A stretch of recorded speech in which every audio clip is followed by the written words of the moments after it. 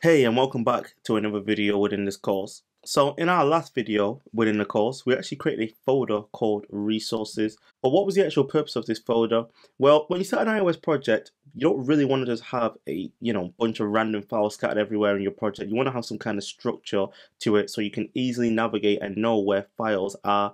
So this is why we created the resources folder because this is where we're going to put all of the resources or any of the files that are related to resources within this folder. So we have some kind of structure in terms of where they all live. Now let's actually look at this presentation with some graphics to actually look at how we're going to organize our actual project structure using features.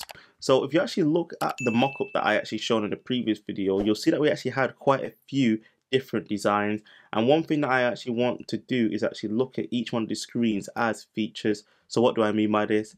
Think about a feature as a single isolated component and we only want to group relevant files by their features. So if something isn't relevant to that, we actually want to move it out. So first of all, what we want to do is actually have a root folder on the screen as you can see here called features and this is going to house everything that relates to the screens within our mockup. So let's first start off with our people view.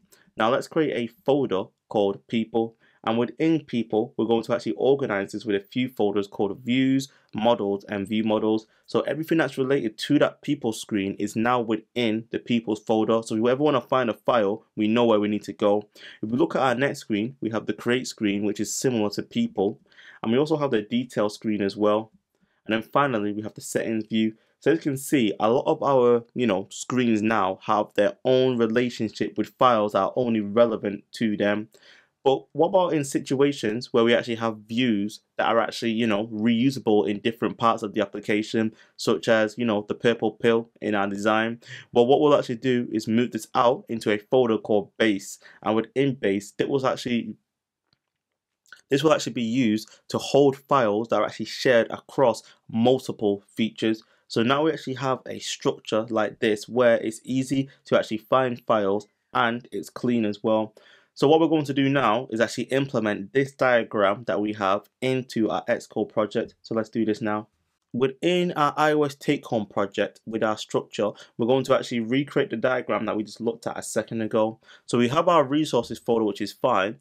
But now what we're going to do is create our base folder and our features folder. Cool. So now we have base.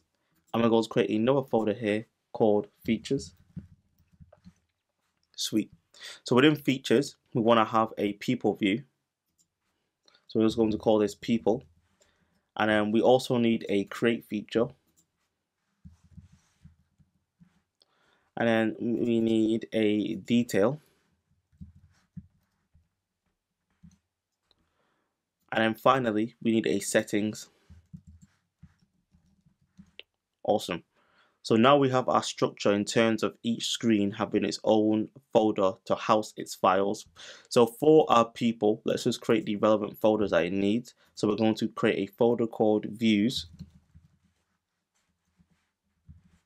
And then we're also going to create another folder called model. And then we're going to create another folder called view models. So I'm going to get into a bit more detail. We actually put files within these folders within, you know, each one of them. But just to give you a high level overview of what they each what each one of them is. So this view model is basically going to hold any files that perform any kind of business logic for our views. Our model is just going to represent the models, so the data that we get back from our service, which we'll talk about in the next set of videos. And then we also have our views, which is simply just going to be the views that you see on the screen that relate specifically to the people screen. So now we want to actually copy this structure for our remaining folders except from the settings view which I'll get to in a second. Let's just go into create and then we'll copy this now. Awesome. So now we have our structure. So you can see here that people create in detail all the same and that's because they're actually going to perform some kind of logic and you know interact with an API and also have their own views but settings is a bit different. So settings doesn't have a model or a view models folder and the reason for this because if you actually look at the mockup designs all we have is a form with a toggle so this actually isn't going to be interacting with any of the services so there's no need to actually give it a model or a view model file it simply is going to be housed within the settings view based on the toggle when we're interacting with the screen. Okay, cool.